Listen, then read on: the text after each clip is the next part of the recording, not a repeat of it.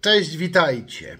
W dzisiejszym odcinku historycznym pokażę Wam jeden z moich ulubionych smartfonów i zarazem smartfon, który uważam za najładniejszy smartfon w historii. O jakim modelu mowa?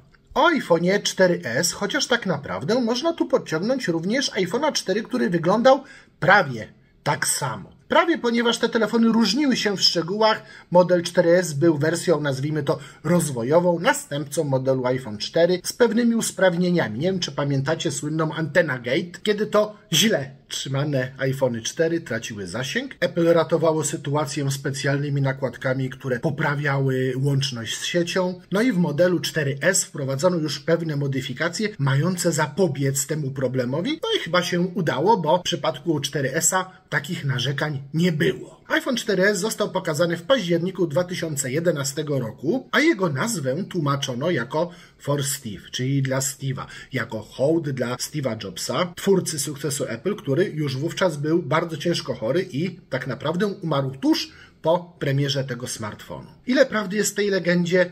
Nie wnikam, niemniej legenda brzmi całkiem legitnie i w sumie nawet mi się podoba. Pasuje. A sam telefon podoba mi się jeszcze bardziej. Moim zdaniem jest to jeden z najbardziej udanych projektów smartfona, jakie kiedykolwiek powstały. Oczywiście możecie powiedzieć, że front wygląda zupełnie nie dzisiejszo, ale moi kochani, wierzcie mi, w tamtych latach ten telefon po prostu robił furorę swym designem. W wersji czarnej, która niestety poległa w boju, a której osobiście używałem, wyglądał moim zdaniem jeszcze lepiej. Ten biały należał on dziś do mojej żony, a teraz spoczywa w szufladzie jako model archiwalny, bowiem obecnie już jest, powiem szczerze i powiem to wprost, trochę nieużywalny. Pierwszy system operacyjny, jaki w nim pracował, to był iOS 5. Telefon skończył na wersji 9.3.6, która moim zdaniem troszeczkę już dobiła jego możliwości. Zrobił się nadzwyczajnie w świecie powolny, ale słuchajcie, nadal działa. Oczywiście do korzystania z niego potrzeba odrobinę cierpliwości. Niemniej urządzenie nawet i dziś w miarę jako tako mogłoby funkcjonować jako smartfon. Oczywiście pod warunkiem, że pogodzimy się z tym, iż niektóre aplikacje po prostu już na nim nie będą chodzić,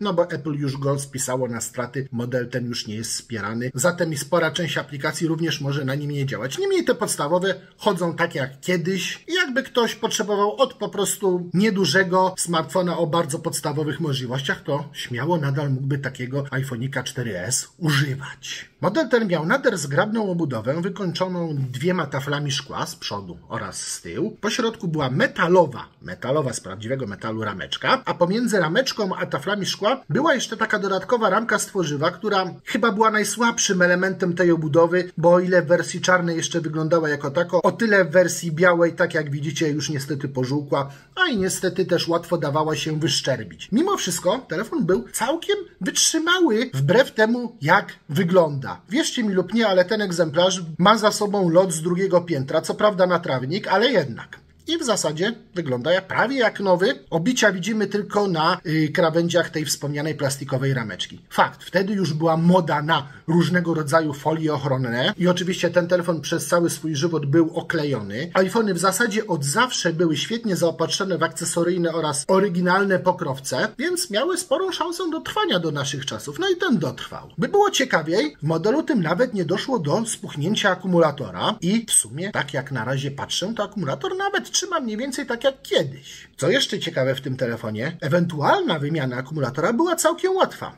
Od dołu były dwie śrubeczki, które należało odkręcić specjalnym śrubokrętem, ale był on do kupienia jak najbardziej. Odkręcało się owe dwie śrubeczki, zdejmowało tylny panel, odklejało za taki specjalny języczek bateryjkę, odpinało taśmę, wkładało nową i telefon dalej śmigał. Jak już pokazałem Wam dół telefonu, to widzicie tam takie ciekawe złącze, obecnie już niestosowane. Nazywało się to Dock Connector. Było specyficzne dla pierwszych modeli iPhone'a. Dotrwało od pierwszego iPhone'a właśnie do modelu 4S, ponieważ iPhone 5 miał już Lightninga. Ja się bardzo cieszyłem, że to złącze wymieniono, bo po pierwsze było wielgachne i noszenie ładowarki z takim złączem było średnio wygodne, ale wtedy jeszcze ładowarkę dostawaliśmy z iPhone'em w zestawie. Ha, jeszcze były słuchawki. Fatalne, ale były. I to złącze wyglądało tak.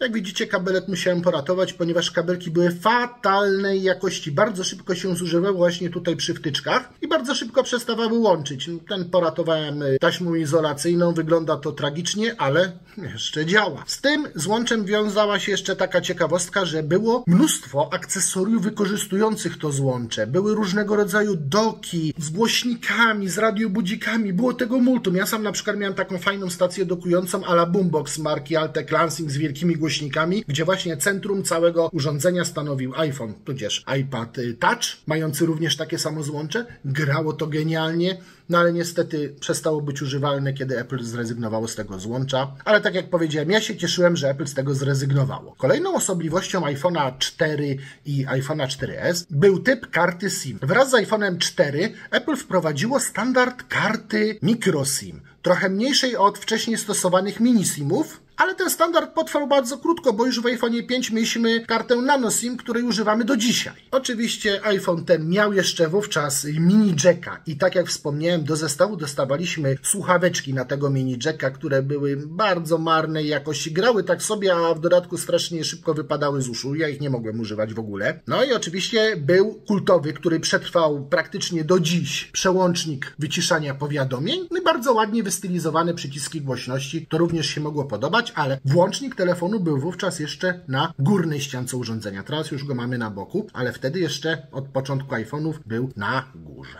Oczywiście y, możecie powiedzieć, że ten iPhone ma strasznie malutki wyświetlacz, bo ma. Ten ekran ma 3,5 cala. W dodatku jego rozdzielczość też nie jest jakaś oszałamiająca na dzisiejsze czasy, bowiem wynosi 640 na 960 pikseli, co daje współczynnik mniej więcej 330 ppi. Ale wierzcie mi lub nie, kiedy po raz pierwszy zobaczyłem iPhone'a 4, no i później iPhone'a 4S, byłem tym wyświetlaczem zachwycony. Na tle konkurentów ten ekran był bardzo wyraźny, bardzo kolorowy i bardzo jasny. Fakt, że już pojawiały się wtedy telefony z wyższymi rozdzielczościami, niemniej przy tym rozmiarze że te 960 na 640 pikseli w zupełności wystarczało do tego, żeby obraz był naprawdę co najmniej zadowalający, a wówczas nawet rzekłbym, zachwycający. W środku pracował autorski procesor Apple A5. Był on dwurdzeniowy o taktowaniu 800 MHz.